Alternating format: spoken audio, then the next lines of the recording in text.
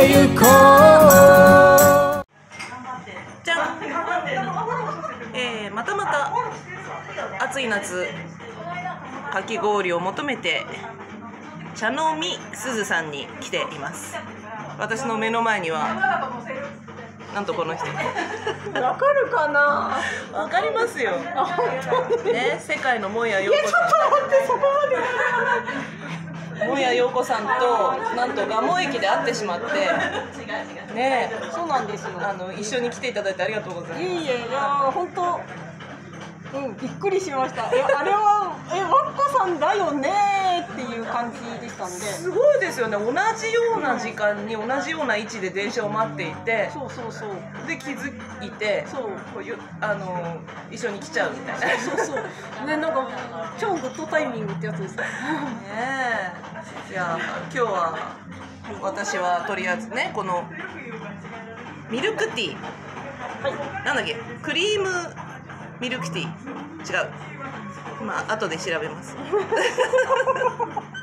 そうなんですねそうです。でもやさんはこれからはい。いちごですね。そうなんです。越谷いちご。はい。いいですいやね一回も食べたことないからさこういう時じゃないとね。私まだいちご食べてないんあ嘘嘘。意外にも。あれあれあれあれ。そうじゃあまだ夏あるんでね。あそうですね。はいちょっと、うん。確かに確かに。じゃあわわっこちゃんが食べてるところを撮ってもらおうかな。はーいいただきます。はーい。いらないですかこういうの。あいや全然全然大丈夫です。これちょっと崩れないように食べるのは相当ね。ね。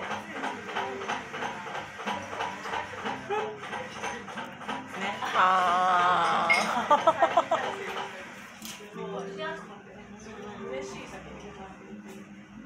あ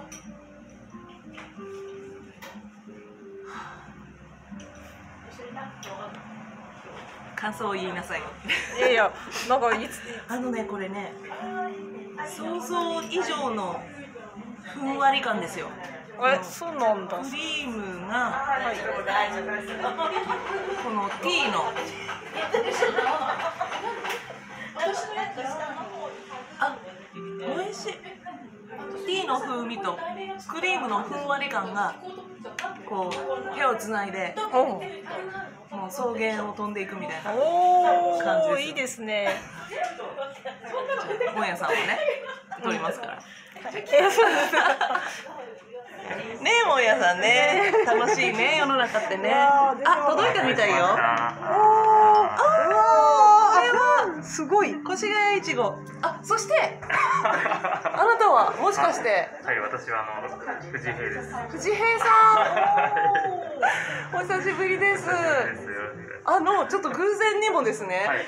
後ろにあ、ほほんと偶然だねこれね。後ろに藤平さんといえばこの千鳥ウッチははい。作者でいらっしゃいますよね、はい、あの越谷のあの隠れた伝統工芸品って言われてる。隠れてない隠れてないよ今みんな知ってるよ。そう。そうあの一応越谷の伝統工芸品なんですけど、うん。越谷ではあのほとんど売られてなくて、はい。あの都内でしか売られてないうちわなんですけど、あの職人最後の職人さんが蒲生の方にいらっしゃって、はい。はい、その方にあの技術を教えていただいて、はい作ってます。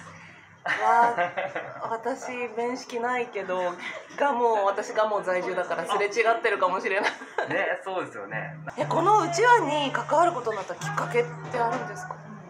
あーこれはですね、ちょっと話すとすっごい長くなるんですけど、うんうんと1年間ちょっと海外に行ってた時があって、でその時にすごいそのものづくりをすごいあの盛んにやってるブラジルのある農場にうん。あの滞在させてもらった時があって。えでその時にものづくりとか職人さんの仕事っていうのがあの、まあかっこいいなって思ったのとあともう日本がすごいあの素晴らしいあの技術がたくさんあるんだよっていうのをブラジルの方に教えてもらうみたいな。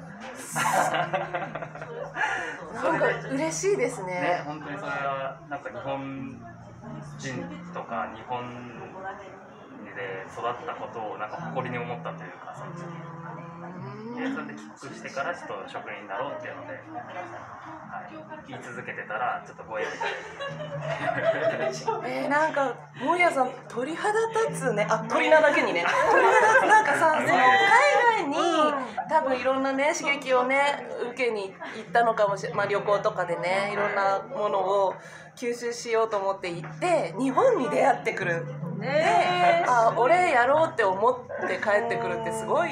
ね。なんか奥が深い話。奥が深い話を。えーなんかこれ有料だよね。えー。は い、いつもあのここにお店に飾らせてもらってるんで、ちょっとちょっとこれ、はい、私中学校の時私越谷だからほら越谷ってううちはあれじゃない？うん。あの都うちわの体験に行ったことあるんですよ。そうなんですね。蒲生の方のとこじゃないけど多分違う方だけどそうだ。あの筋入れたりね、形形成したり。だからもう藤平さん超すごいかっこいいってずっと SNS とか見て思っててで私がラジトクランチやってる時はあのねゲストに出てもらいたいと思って一回声かけたんですけどその時会わずにね予定合わずに、ねそうですよね。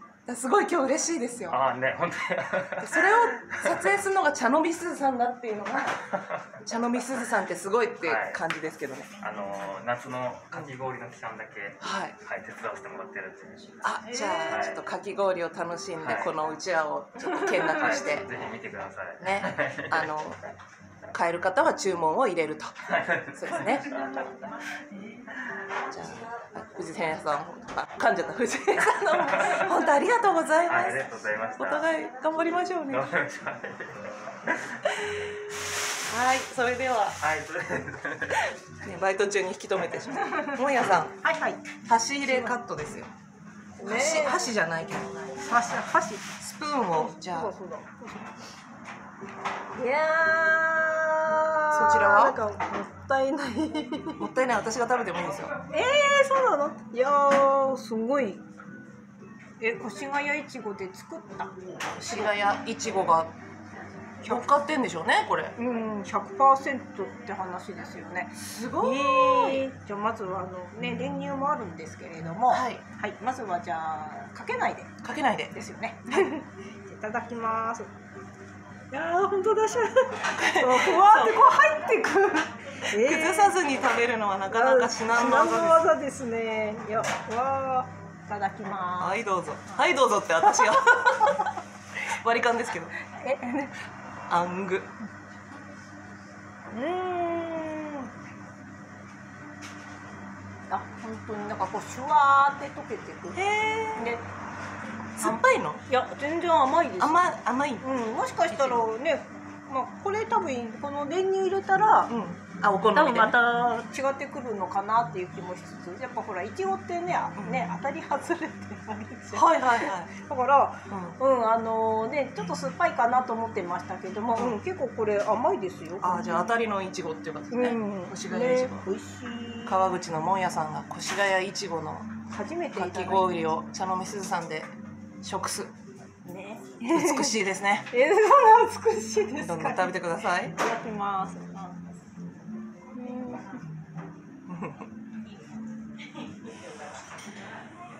うん門屋さんありがとうございましたそうです。なんか偶然の再会で美味しかったしね、まあいつかね来ようかなっていうのはあったの。